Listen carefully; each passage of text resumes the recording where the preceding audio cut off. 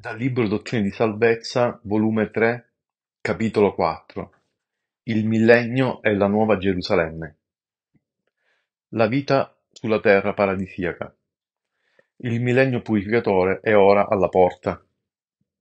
Questa è la parola del Signore, ogni carne è corrotta al mio cospetto. Dal 1831, quando il Signore disse queste parole, il mondo non è migliorato. Oggi questa terra si lamenta sotto la violenza della corruzione e del peccato, la malvagità regna nel cuore dei figli degli uomini e continuerà a regnarvi secondo le rivelazioni del Signore, fino al giorno in cui Cristo verrà nelle nuvole del cielo, come egli ha detto, vestito di rosso, animato dallo spirito della vendetta per castigare gli empi e per purificare la terra dal peccato. Il periodo di tempo in cui la terra sarà purificata dal peccato noi lo chiamiamo millennio. Noi lo aspettiamo con grande ansia. I profeti hanno parlato di esso. Ai nostri giorni dei messaggeri sono venuti dal cospetto del Signore dichiarando che esso è ora alle nostre porte. E malgrado ciò, molte persone, anche fra i santi degli ultimi giorni, pensano ai loro affari come se questa venuta del Signore Gesù Cristo, l'avvento di questo regno di pace, fossero stati pro- proposti indefinitivamente per molte generazioni. Io vi dico che esso è alle, po- alle nostre porte. Io affermo questo con la massima fiducia perché lo ha detto il Signore. Lo hanno detto anche i suoi messaggeri venuti dal suo cospetto per rendere testimonianza di lui. I santi sono pronti per il millennio? Noi siamo stati avvisati e preavvisati del grande e terribile giorno del Signore che è ora alla porta. Non è forse giunto il tempo per noi di farvi attenzione? I membri della Chiesa di Gesù Cristo dei Santi degli ultimi giorni non dovrebbero essere assennati, dotati dello spirito di umiltà e di fede e di preghiera nel loro cuore, sforzandosi di conoscere i fini del Signore e di camminare al suo cospetto in rettitudine e pronti nel caso che quel giorno venga mentre siamo in questa vita? Non è un errore fatale pensare che quel giorno è ancora lontano, che non verrà durante la nostra generazione, e che perciò possiamo in tutta sicurezza accogliere lo spirito del mondo ed aspirare alle cose di cui il mondo si diletta, alle sue follie e alle sue malvagità? Il Signore si aspetta cose migliori da noi. Egli si aspetta che osserviamo i suoi comandamenti, che vigiliamo e preghiamo e rimaniamo in luoghi santi senza muoverci secondo quanto egli ha dichiarato. Questi sono tempi pericolosi. Questa è un'epoca in cui noi ci troviamo in un grande pericolo. Pericolo dovuto agli insegnamenti degli uomini, pericolo dovuto alla mancanza di fede nel cuore degli stessi, pericolo perché le filosofie del mondo tendono a indebolirsi sulle cose fondamentali del Vangelo di Gesù Cristo. Queste sono le, le, cose, le cose contro cui dobbiamo lottare. Oggi nel mondo c'è un senso di indifferenza verso la religione. La gente non adora Dio in spirito e verità, ma il Signore vuole che noi, membri della Chiesa di Gesù Cristo dei Santi di giorni, adoriamo in spirito e verità e camminiamo in rettitudine e che rimaniamo fermi nella libertà con la quale siamo resi liberi, come è detto in questa rivelazione. Quando verrà il millennio, la terra sarà rinnovata. I santi degli ultimi giorni credono che il giorno in cui Cristo farà la sua apparizione sulla terra come legittimo sovrano è vicino, anzi alla porta. Quando verrà quel giorno, tutta la terra e tutte le cose che in essa vi saranno verranno mutate, e la terra sarà rinnovata e riceverà la sua gloria paradisiaca. Questo significa che la terra sarà riportata a una condizione simile a quella che esisteva quando regnavano la pace e la giustizia e prima che vi subentrasse la morte con il suo spaventoso segno di sventura e di rovina. Quando verrà quel giorno, la malvagità dovrà cessare di esistere e tutte le creature immonde saranno spazzate via dalla terra perché esse non potranno sopportare le mutate condizioni. Tutti gli elementi essi puri si fonderanno sotto il calore ardente e tutte le cose diverranno nuove, affinché la mia conoscenza e la mia gloria possano dimorare su tutta la terra, e in quel giorno l'inimicizia dell'uomo e l'inimicizia delle bestie e l'inimicizia di tutte le carni cesserà dinanzi al mio cospetto. Perché cesserà? Perché tutte le cose della terra che sono corruttibili saranno eliminate, siano esse uomini e bestie e coloro che avranno avuto la malvagità nel cuore non potranno rimanere, essi saranno come stoppie e come tali saranno bruciati e annientati. E così la terra sarà purificata e la conoscenza dell'Eterno riempirà la terra. Lo stato paradisiaco di tutta la vita durante il millennio.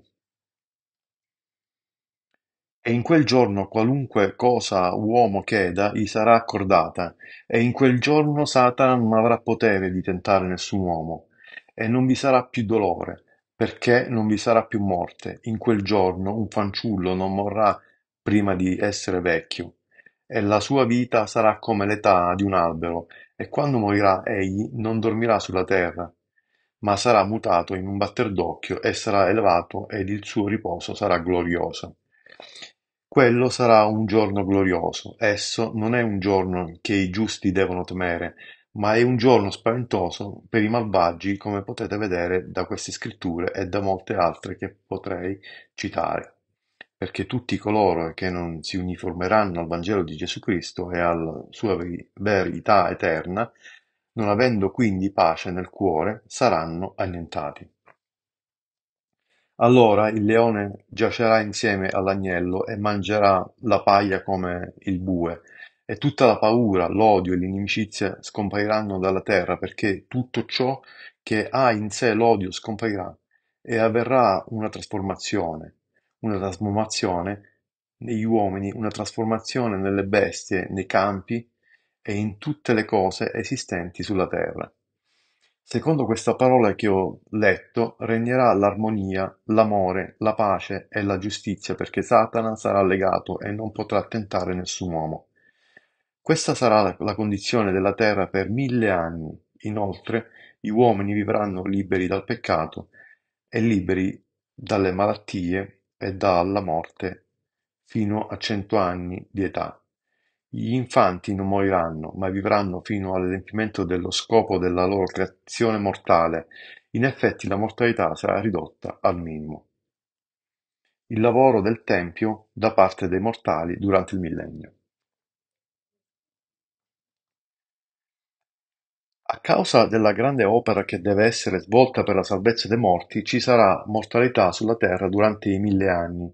Durante mille anni di pace, nei templi si svolgerà l'opera del Signore, in essi opererà la gente per coloro che sono andati nell'aldilà e che aspettano che le ordinanze relative alla loro salvezza siano amministrate per loro da quelli che ancora dimorano nella mortalità sulla terra.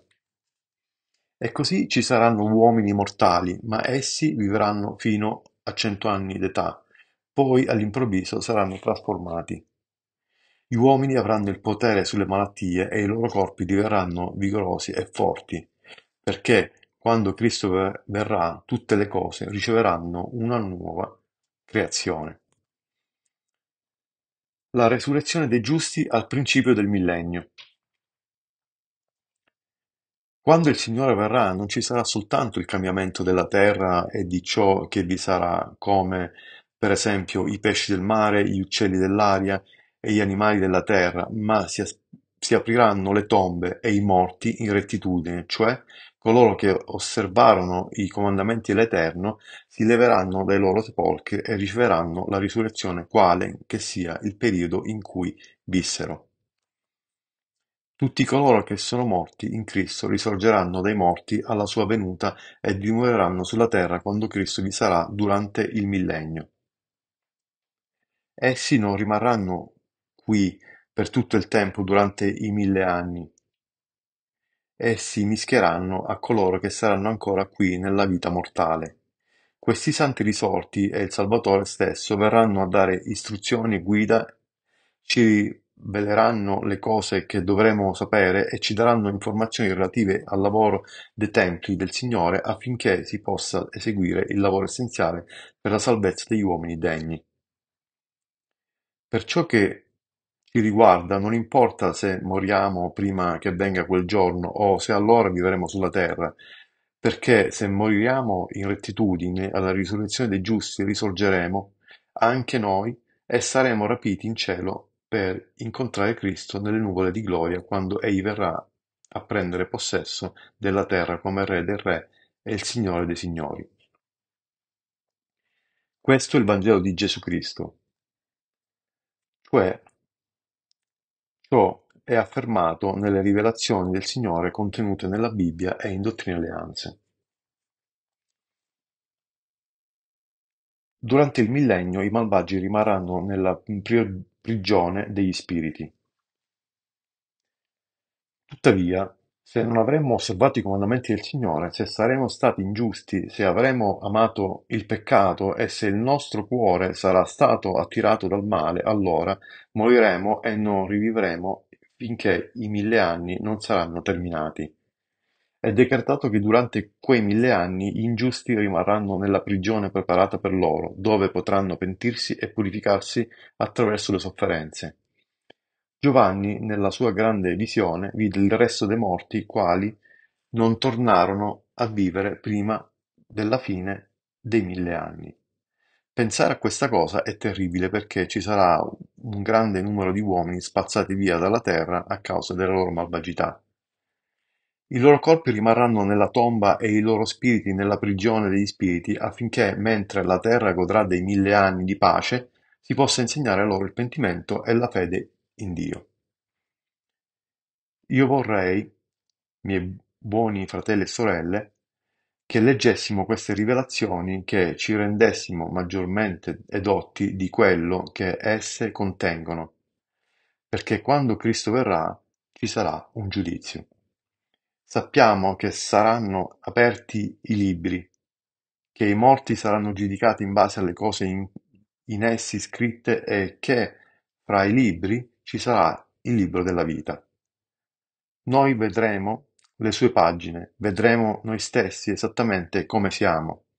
Capiremo bene che i giudizi che saranno emessi nei nostri confronti saranno giusti e veri, sia che andremo nel regno di Dio per ricevere queste gloriose benedizioni, sia che saremo esiliati nel regno dei morti. Il Vangelo e la Chiesa del Millennio la cena delle nozze dell'Agnello avrà luogo alla seconda venuta. E una voce partì dal trono dicendo, Lodate il nostro Dio, voi tutti i servitori, voi che lo temete, piccoli e grandi. Poi udì come la voce di una grande moltitudine e come il suono di molte acque, come il rumore di forti tuoni, che diceva, Alleluia, poiché il Signore Dio nostro, l'Onnipotente, ha preso a regnare, rallegriamoci e giubiliamo e diamo a lui la gloria, poiché son giunte le nozze dell'agnello e la sua sposa s'è preparata. E le è stato dato di vestirsi di lino fino, risplendente e puro, poiché il lino fino sono le opere giuste dei santi. E l'angelo di mio disse, scrivi. Beati quelli che sono invitati alla cena delle nozze dell'Agnello. E mi disse, queste sono le veraci parole di Dio. Questa profezia del matrimonio dell'Agnello è un'allegoria della seconda venuta del nostro Salvatore e della festa, o cena che i giusti faranno al suo arrivo. Quando insegnava agli ebrei e più precisamente ai suoi discepoli, il Salvatore, riferendosi a se stesso, menzionò lo sposo. I santi retti sono la sposa dell'agnello. Nel capitolo 21 dell'Apocalisse la città della Nuova Gerusalemme è rappresentata allegoricamente dal matrimonio dell'agnello. E vidi la santa città, la Nuova Gerusalemme, scendere giù dal cielo dappresso a Dio, pronta come una sposa adorna per il suo sposo. E udì una grande voce di, del, dal trono che diceva Ecco il tabernacolo di Dio coi uomini, ed egli abiterà con loro, ed essi saranno suoi popoli, e Dio stesso sarà con loro e sarà loro Dio. E avvenne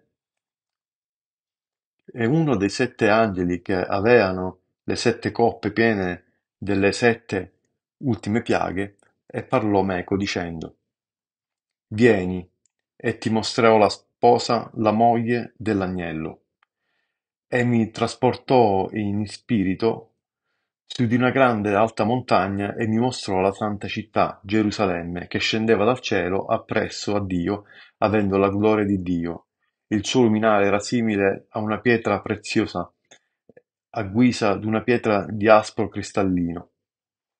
In Dottrina e Alleanza troviamo quanto segue: che la tua Chiesa esca dal deserto tenebroso e risplenda bella come la luna, fulgente come il sole e terribile come un esercito con stendardi, e che essa ti adorna come una sposa per quel giorno in cui tu svelerai i cieli e farai crollare le montagne alla tua presenza e farai sì che le valli si elevino ed i luoghi scabrosi divengano piani, affinché la tua gloria possa riempire la terra.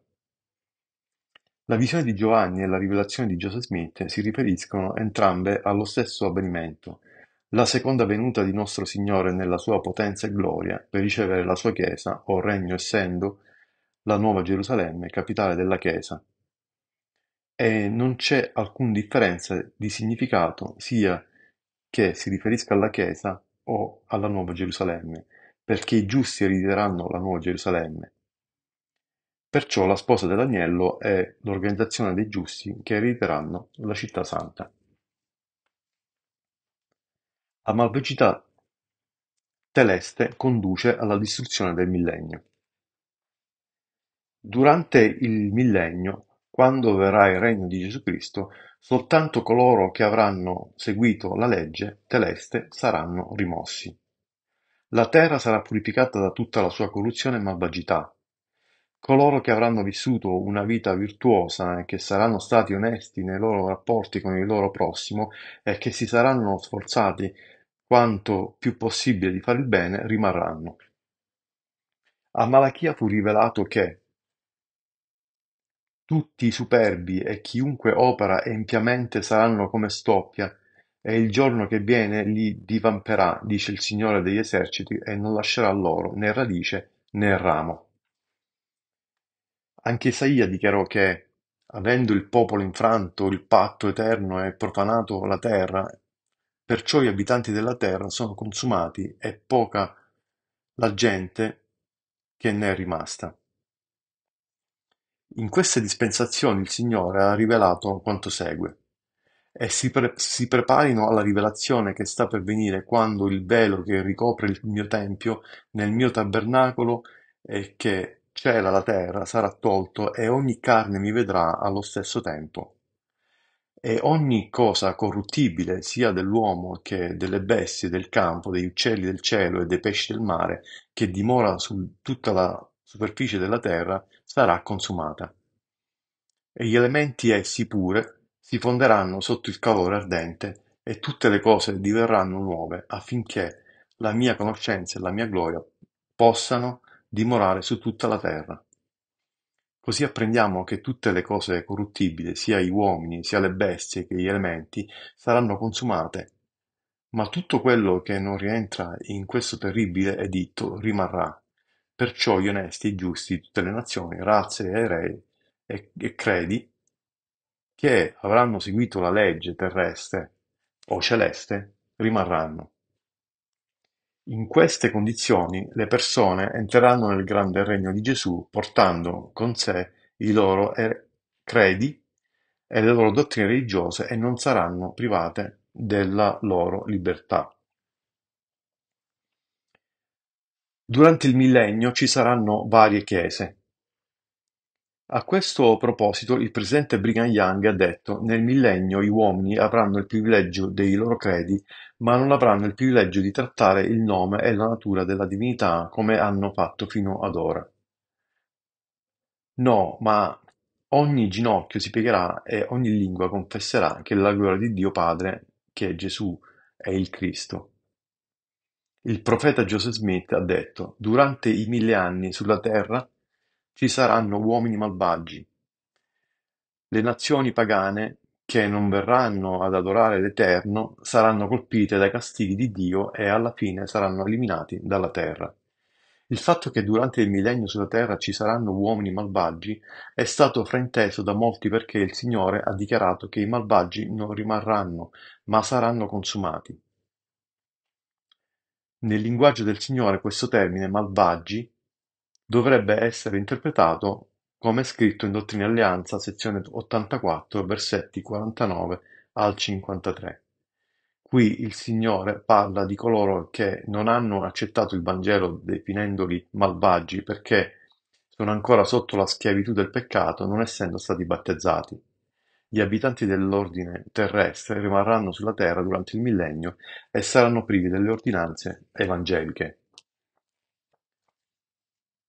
Parlando del millennio, il Signore per mezzo di Isaia disse Poiché ecco io credo dei nuovi cieli e una nuova terra, non ci si ricorderà più delle cose di prima, esse non torneranno più in memoria. Rallegratevi, sì, festeggiate in perpetuo per quanto io sto per creare, poiché ecco io creo Gerusalemme per il, il gaudio e il suo popolo per la gioia.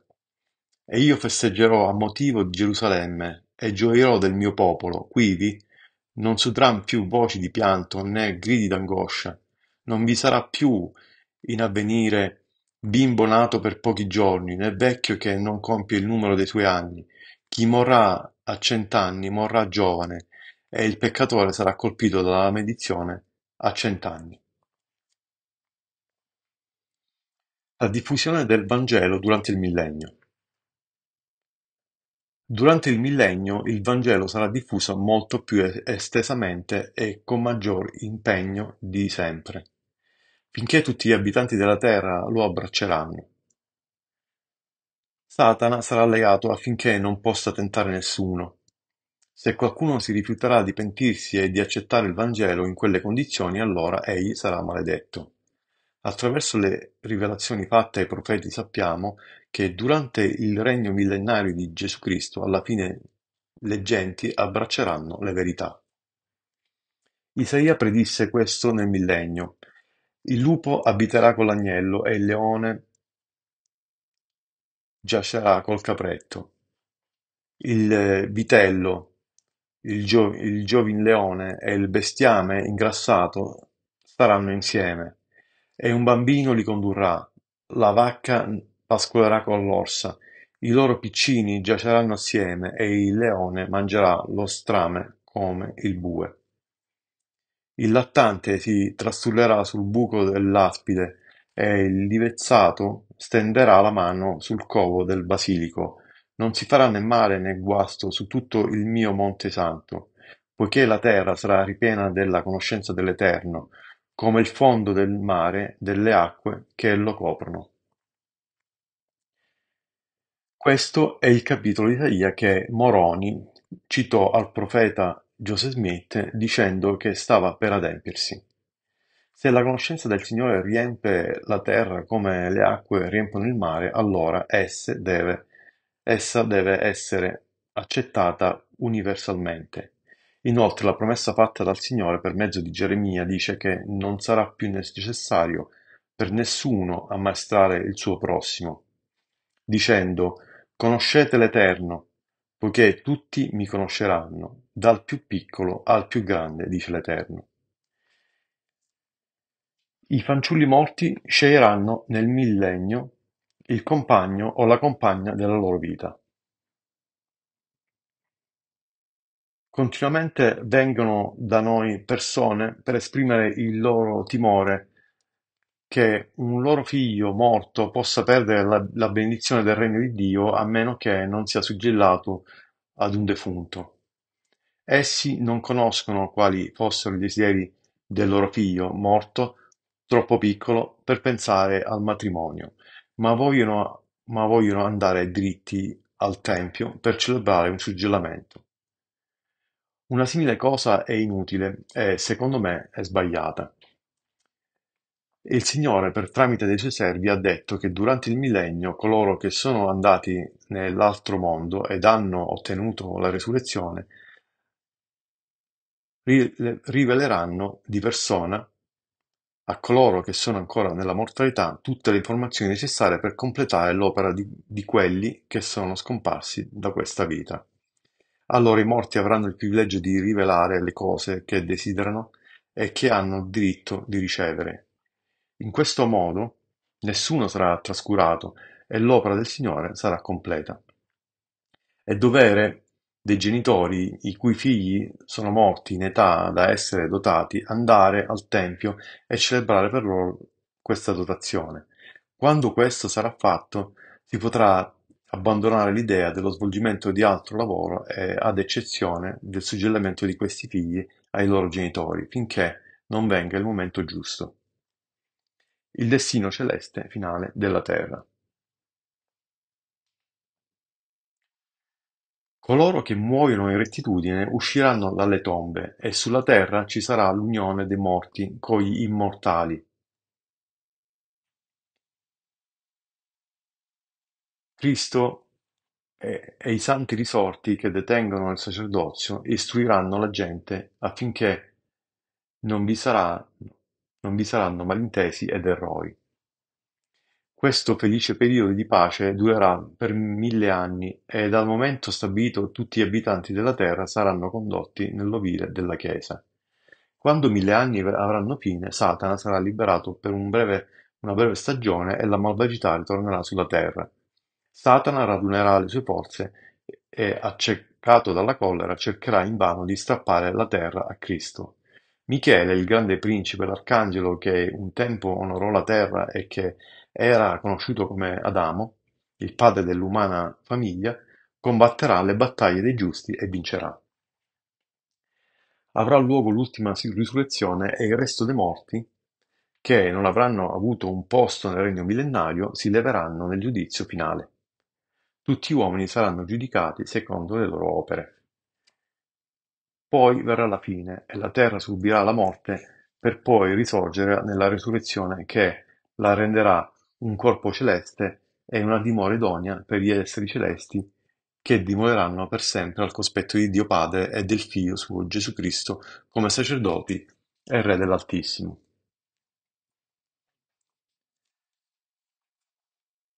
Due capitali millenarie del mondo. Sion, la terra di Giuseppe. Nella Bibbia ci sono molti riferimenti a Sion, un paese o luogo separato e distinto da Gerusalemme. Due di questi passi si trovano nel capitolo 2 di Isaie e nel capitolo 4 di Michea. Sarebbe sciocco dire che questi riferimenti a Sion riguardavano invece la collina di Gerusalemme, dove dimorava David. Per mezzo della rivelazione moderna il Signore ha reso noto che il continente americano è Sion. Sarà qui che sarà edificata la città di Sion, la nuova Gerusalemme. Queste predizioni sono chiaramente espresse nel Libro di Mormon e sono in perfetto accordo con gli scritti della Bibbia. Questo continente occidentale è conosciuto come la terra di Giuseppe e anche come la terra di Sion. Talvolta la città santa che deve essere edificata in questa terra è chiamata la città di Sion. Dovremmo ricordare che questi termini, città di Sion e Nuova Gerusalemme, si riferiscono allo stesso posto santificato da cui uscirà la legge, insieme alla parola del Signore, da Gerusalemme. Anche la città di Enoch era chiamata Sion, che per interpretazione significa la pura di cuore. Giuda si raduna a Gerusalemme, Efraim a Sion.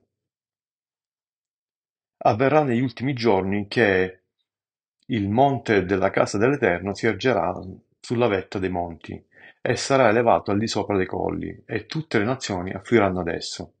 Molti popoli vi accorreranno e diranno: Venite, saliamo al monte dell'Eterno, alla casa dell'Iddio di Giacobbe, e egli ci ammaestrerà intorno alle sue vie e noi cammineremo per i suoi sentieri, poiché da Sion uscirà la legge, e da Gerusalemme la parola dell'Eterno. Da questo passo risulta chiaramente che la città menzionata da Isaia sono due, e centri o centri separati. Questo è confermato dalla rivelazione moderna, la quale ci dice anche esattamente dove sarà edificata la città di Sion, che è la Nuova Gerusalemme. Per poter capire bene questo punto, è necessario spiegare il fatto che la Palestina sarà il posto di raduno della tribù di Giuda e dei figli di Israele, che gli sono associati. Dopo la loro lunga dispersione, come predetto dai profeti. L'America è la terra di Sion, essa fu data a Giuseppe, figlio di Giacobbe, e ai suoi discendenti come eredità eterna. I figli di Efraim, figlio di Giuseppe, e tutta la casa di Israele che è gli associata si raduneranno a Sion o America. Nella benedizione che Giacobbe dette a suo figlio Giuseppe, l'eredità dell'America è annunziata e delineata con queste parole. Giuseppe è un ramo dell'albero fruttifero, un ramo d'albero fruttifero vicino a una sorgente.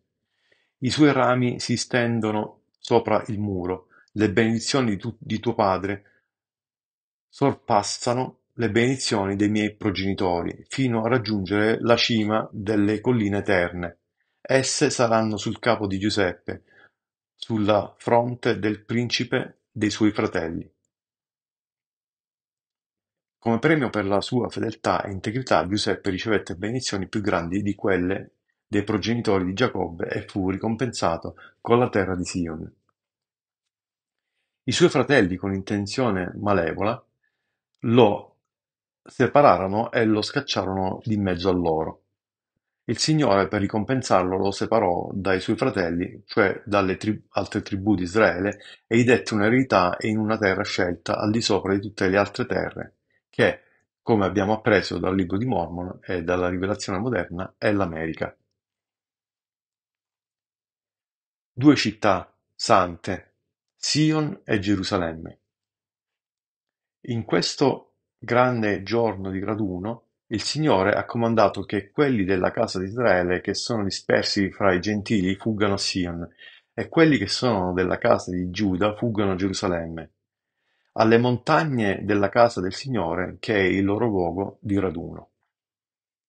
In ogni terra sarà edificata una città santa, che sarà la capitale da cui la legge e la parola dell'Eterno saranno emanate per tutti i popoli. Il Salvatore disse ai Nefiti, ed ecco, questo popolo io lo stabilirò su questa terra per adempiere l'alleanza fatta col vostro padre Giacobbe, e sarà una nuova Gerusalemme. E i poteri celesti saranno in mezzo a questo popolo, sì, anch'io sarò in mezzo a voi. Moroni, scrivendo ai Giarediti, disse, Ecco, Eter vide i giorni di Cristo e parlò in merito alla nuova Gerusalemme che verrebbe fondata in questo paese. Parlò pure del casato Israele e della Gerusalemme donde venne lei, che, dopo essere stata distrutta, vorrebbe, verrebbe riedificata una santa città consacrata al Signore. Dunque non avrebbe potuto essere una Nuova Gerusalemme, dal momento che era già esistita nei tempi antichi, ma che verrebbe ricostruita e diverrebbe una città santa dal Signore e che sarebbe stata ricostruita per la stirpe di Israele. Due città sante, Gerusalemme e la Nuova Gerusalemme. Dalla rivelazione fatta al profeta Joseph Smith sappiamo che la città di Sion e la Nuova Gerusalemme sono una sola identica cosa. In varie rivelazioni il Signore menziona la Nuova Gerusalemme che dovrà essere edificata. Per esempio si legge questo: "E sarà chiamata la Nuova Gerusalemme, una terra di pace, una città di rifugio, un posto di sicurezza per i santi dell'Altissimo. E la gloria del Signore vi dimorerà, come pure il terrore del Signore, al punto che i malvagi non vi verranno, e sarà chiamata Sion". Ed anche sì, la parola del Signore in merito alla sua Chiesa, stabilita negli ultimi giorni per la restaurazione del suo popolo, come egli ha detto per bocca dei suoi profeti, e per il raduno dei suoi santi sul monte Sion, che sarà la città della nuova Gerusalemme. L'antica Gerusalemme, dopo che gli ebrei saranno purificati e santificati dai loro peccati, diverrà una città santa dove dimorerà il Signore e donde si diffonderà la sua parola a tutte le genti. Analogamente in questo continente sarà edificata la città di Sion, o Nuova Gerusalemme, e da essa la legge di Dio uscirà. Non ci sarà alcun conflitto fra le due città perché ognuna sarà la sede centrale del Redentore del mondo e dall'una e dall'altra egli farà i suoi proclami secondo necessità. Gerusalemme sarà il posto di raduno di Giuda e dei suoi compagni della casa di Israele, mentre Sion sarà il posto di raduno di Efraim e dei suoi compagni, su cui capi pioveranno le più ricche benedizioni. Sion e Gerusalemme, città separate. Molte profezie della Bibbia accennano a Gerusalemme e a Sion come località separate. È evidente che questi accenni non si riferiscono alla collina Sion che è parte della città di Gerusalemme. Tra queste predizioni citiamo le seguenti. O tu che rechi la buona novella a Sion, sali sopra un alto monte, o tu che rechi la buona novella a Gerusalemme, alza forte la voce, alzala, non temere, di alla città di Giuda, ecco il vostro Dio.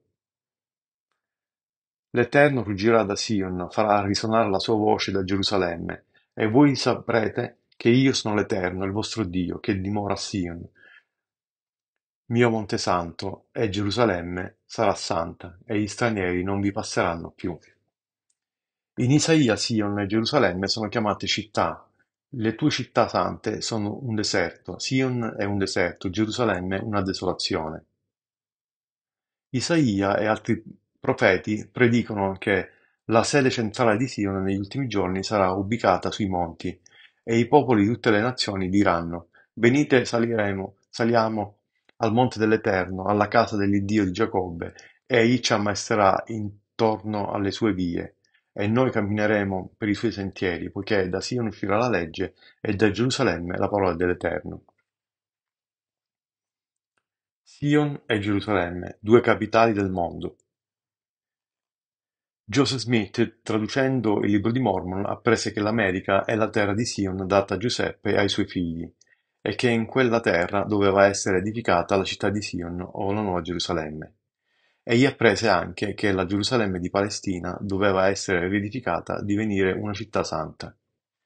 Queste due città, una nella terra di Sion e una in Palestina, durante il millennio diverranno le capitali del regno di Dio. Nel frattempo, mentre l'opera di preparazione è in corso e Israele si sta radunando, molte persone stanno venendo nella terra di Sion dicendo Venite, saliamo al monte dell'Eterno, alla casa del Dio di Giacobbe. I santi degli ultimi giorni stanno adempiendo questa predizione, dato che si radunano provenendo da tutte le parti della terra e giungono alla casa del Signore in queste valli. Qui, per mezzo della restaurazione del Vangelo e ricevendo le benedizioni dei templi, essi sono ammaestrati nelle vie del Signore. Inoltre, prima che passino molti anni, il Signore ordinerà l'edificazione della città di Sion e nel tempo stabilito la Gerusalemme di Palestina sarà purificata e diverrà una città santa, e la residenza degli ebrei, dopo che essi si saranno purificati e saranno pronti ad accettare Gesù Cristo come loro Redentore. I templi di Sion e di Gerusalemme. E manderò la giustizia dal cielo e farò uscire la verità dalla terra per portare testimonianza del mio unigenito figliuolo della sua resurrezione dai morti ed anche della resurrezione di tutti gli uomini. E farò sì che la giustizia e la verità spazino la terra come da un diluvio, per raccogliere i miei eletti dai quattro canti della terra in un luogo che io preparerò, una città santa, perché il mio popolo possa cingere le reni e attendere il tempo della mia venuta, poiché là sarà il mio tabernacolo e sarà chiamata Sion, una nuova Gerusalemme. Ed il Signore disse a Enoch: Allora tu e tutta la tua città li incontrerete là, e noi li riceveremo nel nostro seno, ed essi ci vedranno, e getteremo loro le braccia al collo, e ci getteranno le braccia al collo, e ci bacieranno l'un l'altro.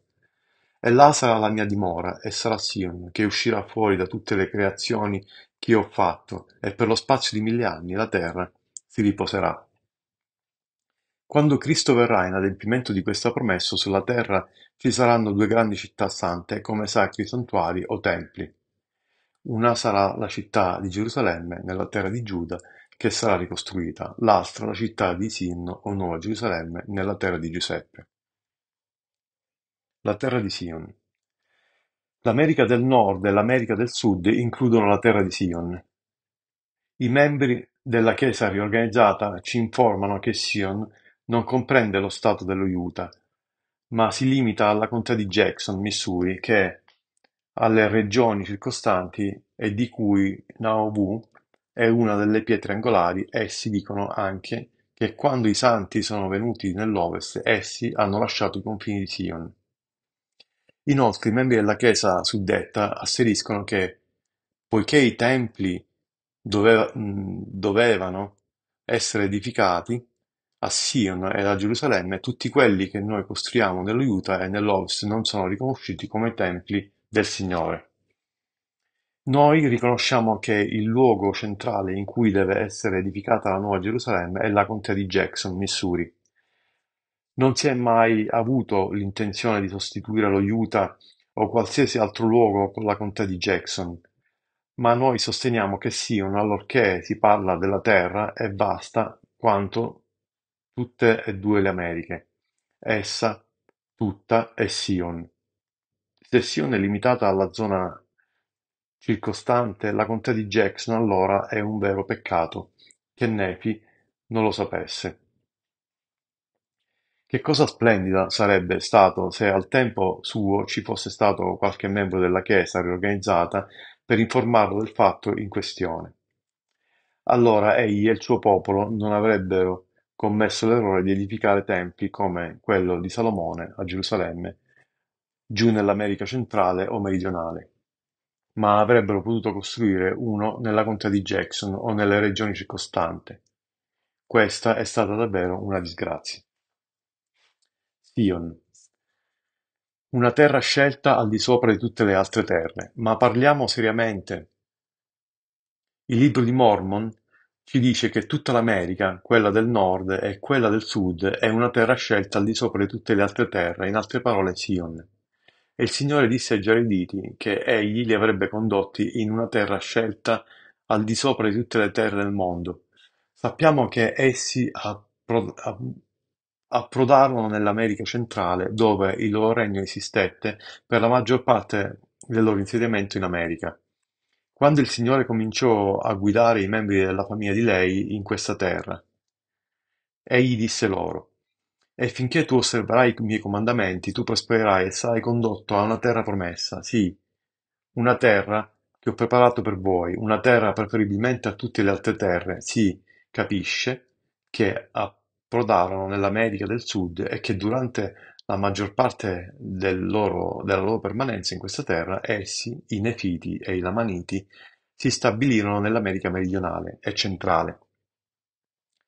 In ogni modo trascorsero il periodo della loro civiltà principalmente nel sud e non nella regione che ora comprende gli Stati Uniti.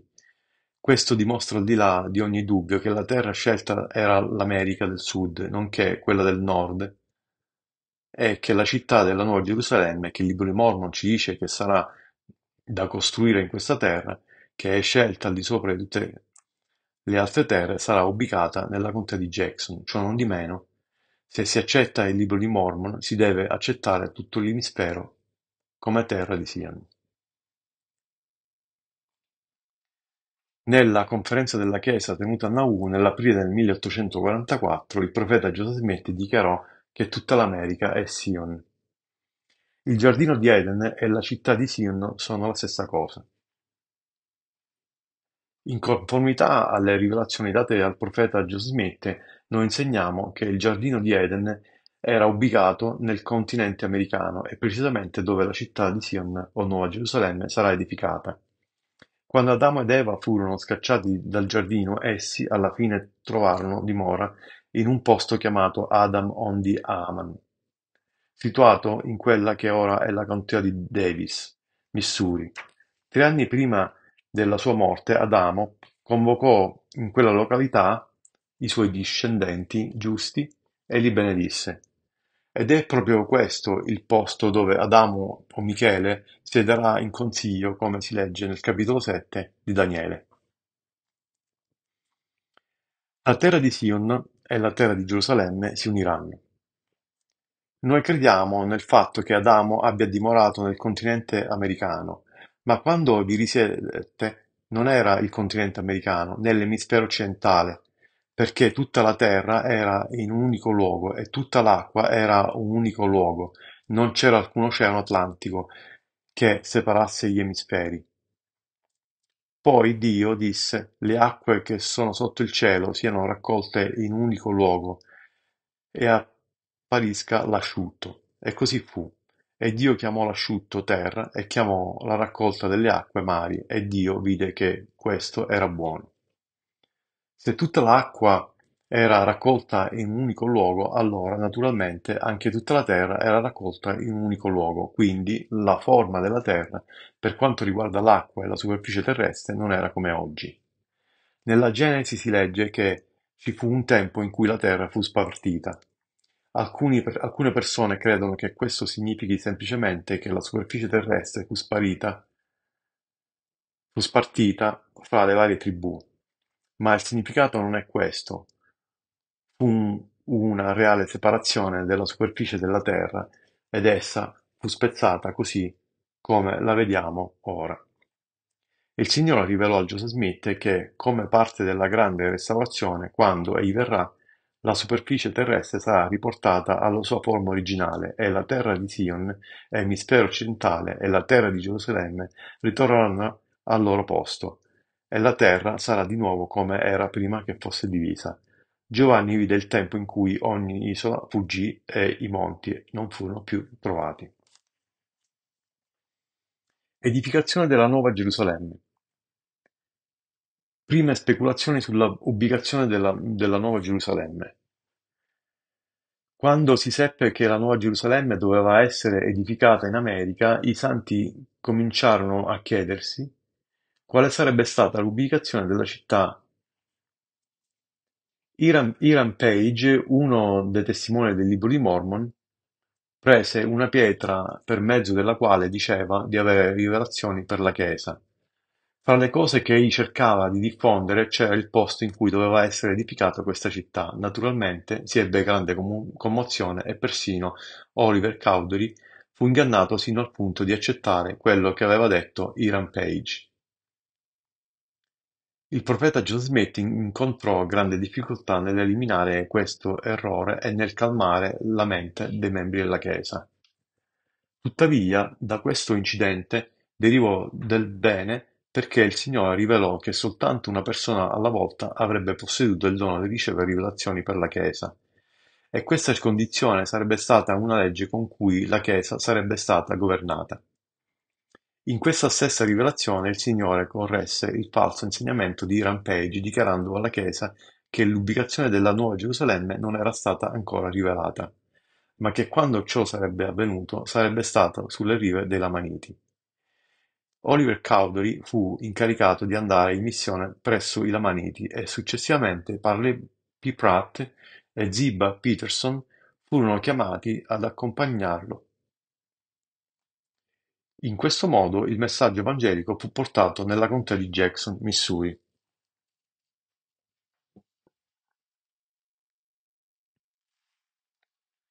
I santi erediteranno Sion, per il tempo e per l'eternità.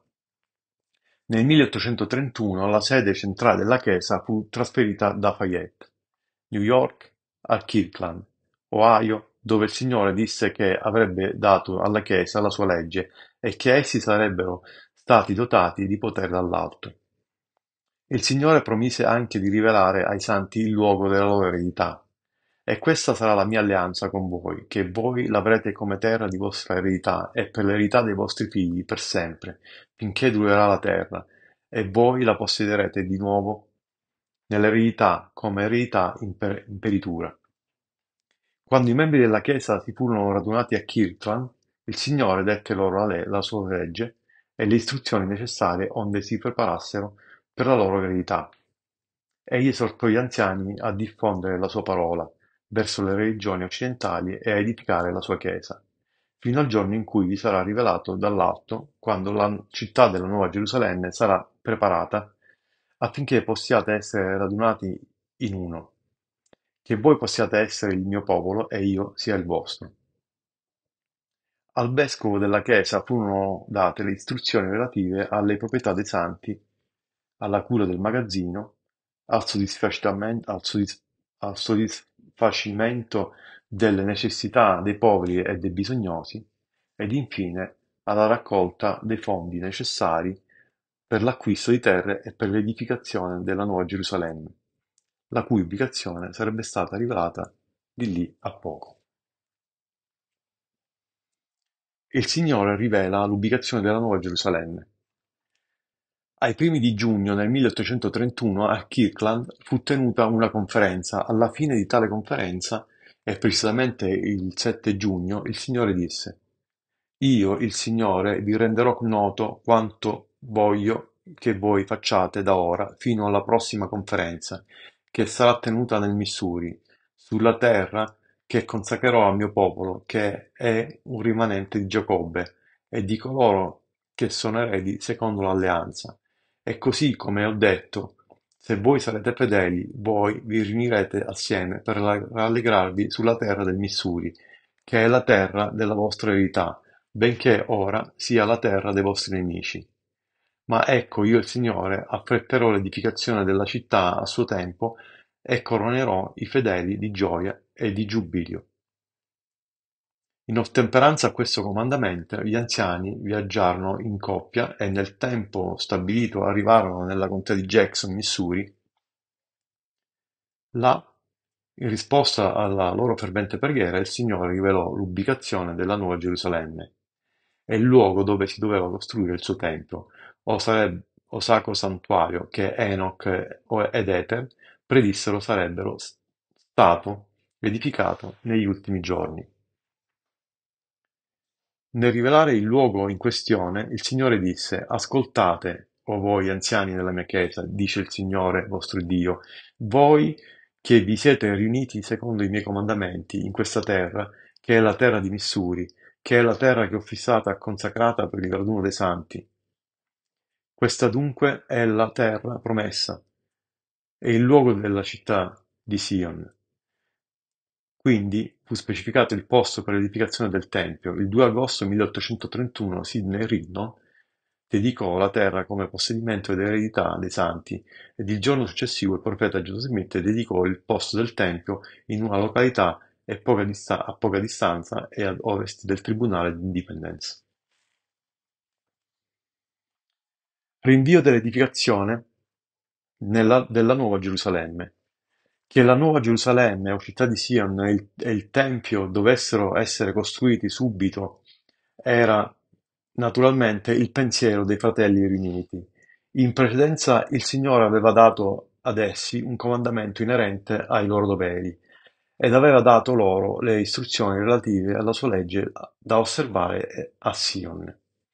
Egli specificò anche che la città non doveva essere edificata a quel tempo, voi non potete vedere coi vostri occhi naturali, nel tempo presente, i disegni del vostro Dio in merito alle cose che avverranno di qui a poco e della gloria che seguirà dopo molta tribolazione, poiché dopo molta tribolazione vengono le benedizioni.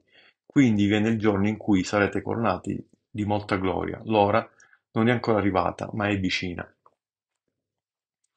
È vero che in quell'epoca il Signore avrebbe benedetto i santi e che avrebbe cominciato la fondazione della città di Sion, se essi avessero seguito fedelmente i suoi comandamenti, ma queste sue parole è facile capire che la gloria di Sion era futura, sebbene nel senso spirituale essa fosse vicina.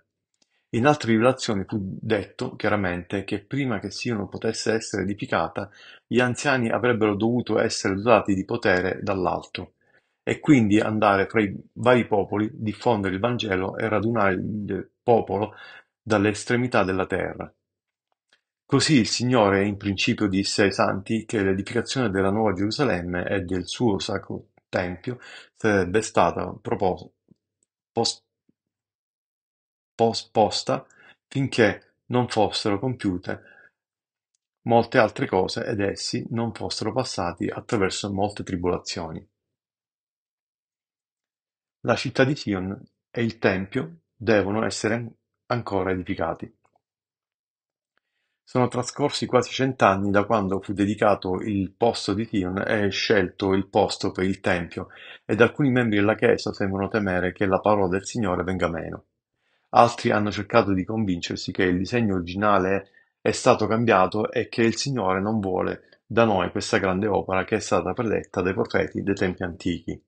Noi non siamo stati sollevati da questa responsabilità e neppure lo saremo. La parola del Signore non verrà meno.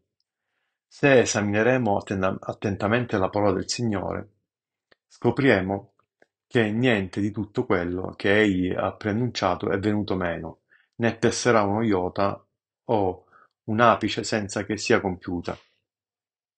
È vero che il Signore ha comandato ai santi di innalzare a Sion un tempio in suo onore e nome. Questo essi hanno cercato di fare, ma sono stati ostacolati dai loro nemici, pertanto il Signore non ha più richiesto che compissero l'opera a quel tempo.